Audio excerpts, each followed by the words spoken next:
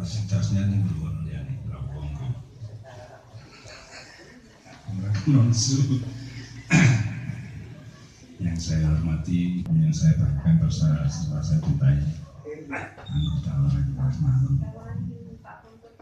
pertama-tama kami panjatkan rasa puji dan syukur kepada Allah Subhanahu wa taala yang mana malam ini kita bisa berkumpul di tempatnya. Itu Oscar Oscar Rizky ada di daerah Tatu McD yang di McD Mayangku yang mana beberapa saat ini kita uh, sudah terlambat dalam acara soal dan ini mulai dimulai yang kesekian kalinya lagi. Mudah-mudahan dengan kehadiran teman-teman semua ini bisa menjupuk teman-teman yang lain supaya bisa tambah segeng, tambah rame. Ono ikut ini orang magem remem. Kalau koyo wong itu. Ya wes. Sio-sio. Ye, bapak-bapak ibu sekalian yang saya muliakan dan saya cintai. Pada akhirnya acara selapanan ini sebetulnya kan hanya sarana uh, wadah untuk ajang silaturahmi yang mana kita bisa saling mengenalkan di mana kita bisa kumpul sesama anggota dan keluarga anggota. Misalnya kayak Mbak Bali kita bisa kenal dengan keluarga. Sedikit banyak juga ngerti oh Putri misalnya beliau juga mengalami banyak kurasunya kali buyut ya. Mudah-mudahan ini buyut ayah sungguh kuwi kenal maka tak saya. Ya. dengan diawali beberapa satu dua tiga empat lima Sepuluh. delapan empat enam empat belas Sing loro kan. Ayo bisa ono 14 16 yang dulu kayak digerokok. Kayak itu kurang Wis. kali ora ini. Iya. Wah, 16 dari awal 16 itu mudah-mudahan nanti akan mengembang lagi. Dulu juga pertama juga seperti itu pakai kentil tapi juga sus pasang surut ada berbagai kesibukan dan sebagainya kita saling memahami. Tapi pada intinya tujuan kita acara selapanan tidak lepas. Biasanya nek selapanan itu diisi dengan pengajian dan sebagainya. Tapi acara wong orari harus belajar mengenai teknik dirembuk monggo. Misalkan arep duwe duwe apa ya? Duwe rasa-rasa atau kepingin kepingin apa? Nah, nanti bisa disampaikan nanti juga akan kami himpun suara-suara panjenengan akan kami sampaikan pada pengurus kebetulan ini eh, ketua tadi pamit karena keluarganya dari Jadi rutin kira-kira hampir dua tahunan. Jadi sebenarnya selapanan ini sudah rutin selama dua tahunan.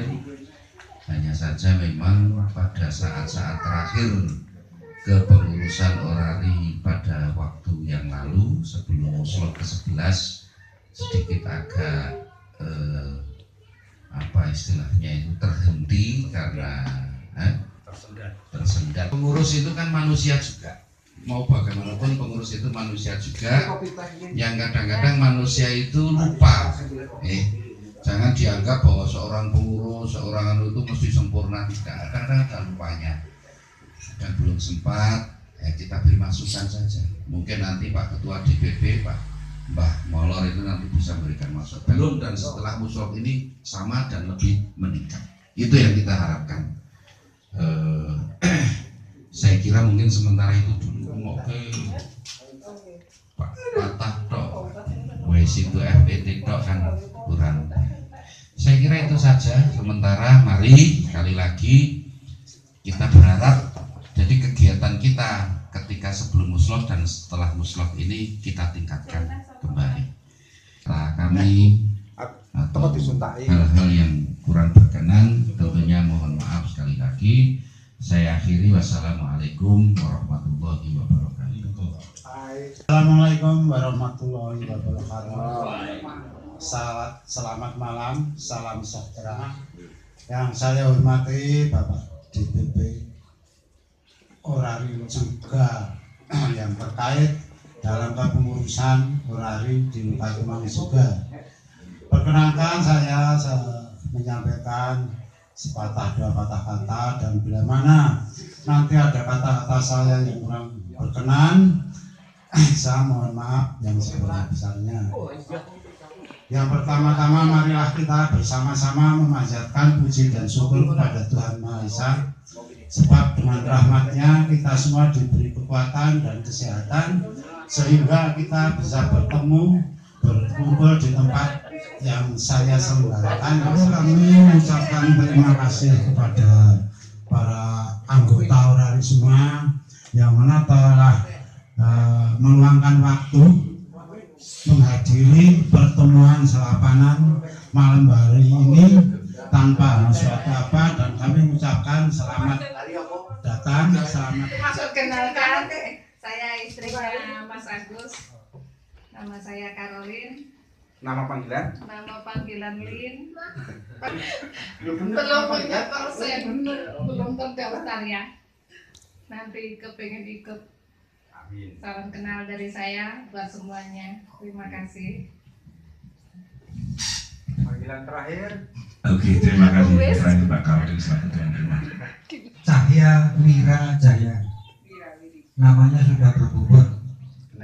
Cuman panggilan sehari-hari biasa dikenal dengan panggilan Tino. Untuk NPI dalam eh, ngitung duit wae nama panggilan Yankee Delta 2 Tango Indian November. samane ilang Alamatnya di Jalan Kosasi nomor 3 Parakan, tepatnya di depan Bambu Runcing. Taman ya, Taman Kota Bambu Runcing Parakan. Status kawin. Tak kira duda oleh-oleh dua putri semua. Cantik-cantik. Profesi. Eh, Bapak Ibu saudara yang hadir pada kesempatan malam hari ini terima kasih untuk yang terhormat Pak yang telah memberikan kesempatan dan segalanya di kesempatan pertemuan rutin selapanan orari lokal Temanggung mudah-mudahan dengan adanya selapanan seperti ini menjadikan sebuah eh, organisasi kita lebih akrab di udara juga lebih akrab. Pertama-tama saya ucapkan terima kasih atas kehadiran Bapak Ibu, teman-teman sedoyo yang telah sudi menghadiri bukaan selapanan di tahun yang baru ini. Dan saya juga melunasi janji saya bahwa dulu pada saat sebelum muslok untuk selapanan yang pertama di tempat saya sekalian mengenalkan istri saya tahunnya baru istrinya baru ketuanya baru pokoknya anyar kabeh. Nama saya Agus Kristanta. Saya Yengki Carmitu Oscar Oscar Wisbi alamat di tempat ini. Terima kasih. Kali jadi harap agung dulu di eh perkenalkan nama saya Fatahila dengan nama panggilan yang kita itu Foxtrot Alpha Tango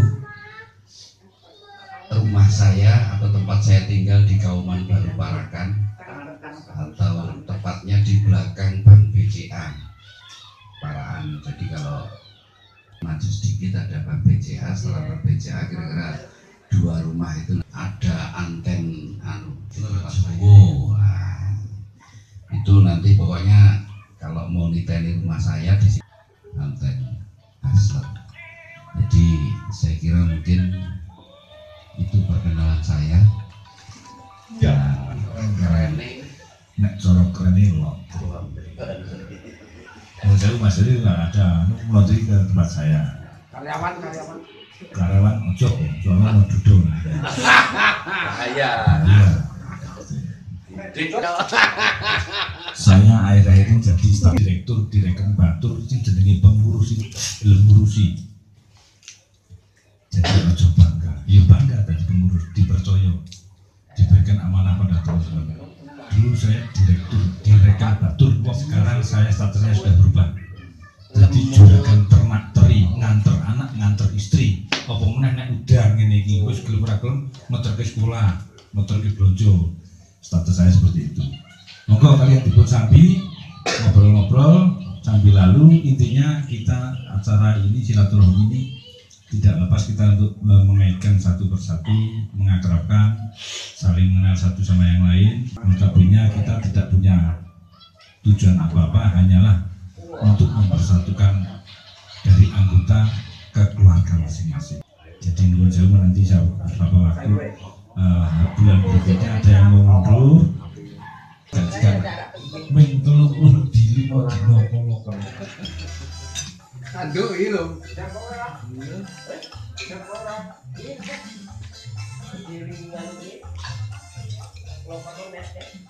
Hampir ke orangnya itu di. Ambil ke orang acara di Hah? Kan acara di Solo. Apa?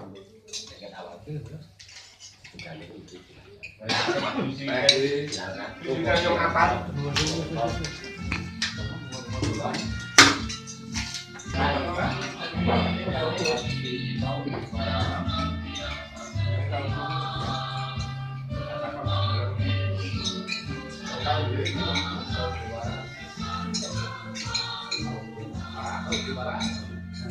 kasih.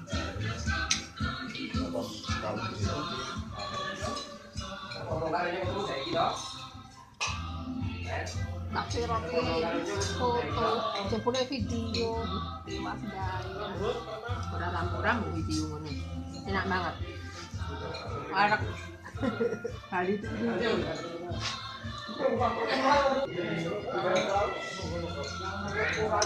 Mau arak senam. Gurune senam wis teko malah ora situ. Kalau telepon saya coba.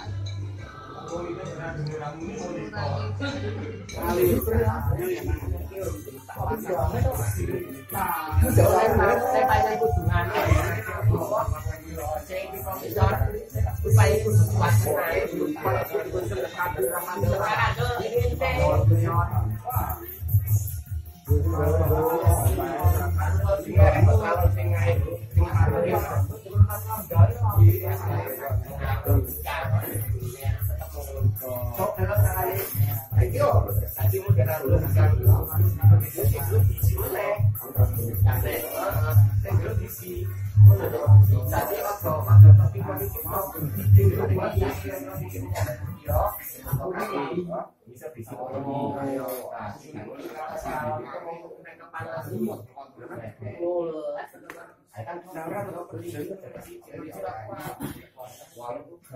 kan